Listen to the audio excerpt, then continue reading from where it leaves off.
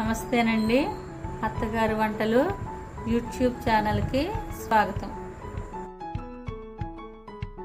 ఈరోజు నేను పొడి ఉప్మా ఇంకా పల్లీల chutney చేయబోతున్నానండి.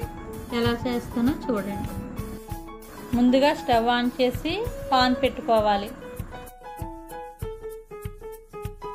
Two tablespoon oil వేసి ఆయిల్ వేడైన తర్వాత మిరపకాయలు వేసి సిమ్లో పెట్టుకొని వేయించుకోవాలి.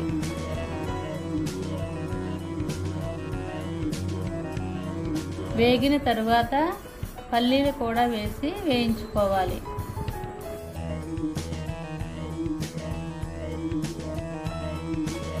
పల్లీలు వేగిపోయాయండి. వాటిని కాసేపు చల్లార్చుకుందాం. ఇప్పుడు స్టవ్ ఆన్ చేసి కళాయి పెట్టుకొని గోధుమ రవ్వ వేసి బ్రౌన్ కలర్ వచ్చే వరకు బాగా వేయించుకోవాలి.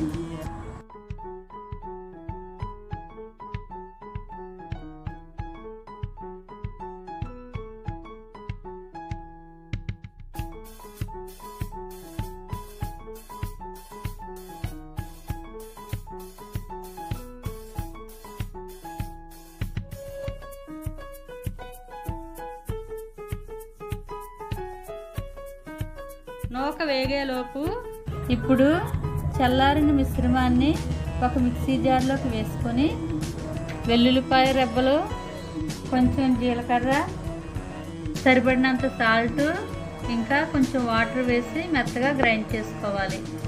గోధుమ రవ్వని ఇలా వేయించుకోవాలి. ఇప్పుడు చట్నీ తాలింపు వేద్దామండి. ముందుగా స్టవ్ ఆన్ చేసి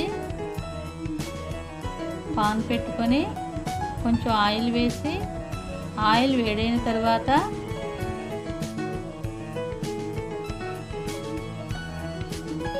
మినపప్పు ఆవాలు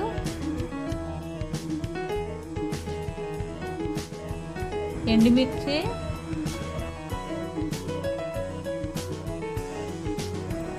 ఇంకా కరివేపాకు కూడా వేసి వేయించుకోవాలి. ఇప్పుడు ఆ తాలింపును చట్నీలో వేసి కలుపుకోండి. ఇప్పుడు ఉప్మా ప్రాసెస్కి వెళ్దామండి. ముందుగా స్టవ్ ఆన్ చేసి కడాయి పెట్టి కొంచెం ఆయిల్ వేయండి. చేతి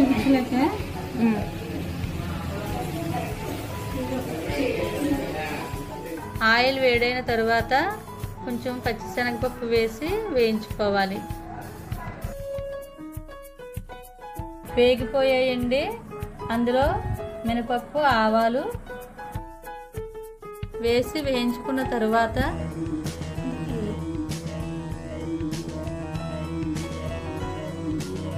ఎండుమిరపకాయలు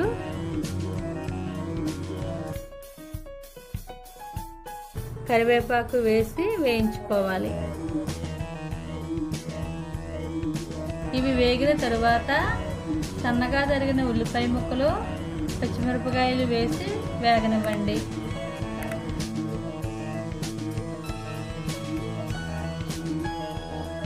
వేగుతున్నప్పుడు సరిపడినంత సాల్ట్ వేసి కలుపుకోవాలి.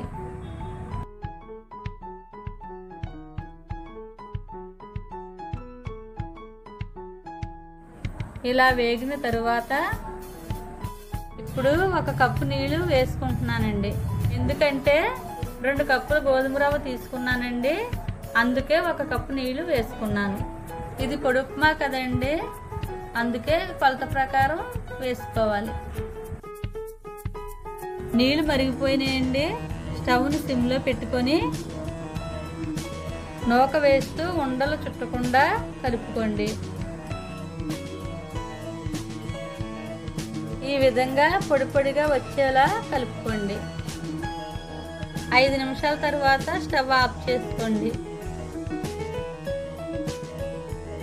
అంతేనండి పొడుప్మా పల్లీల చట్నీ రెడీ.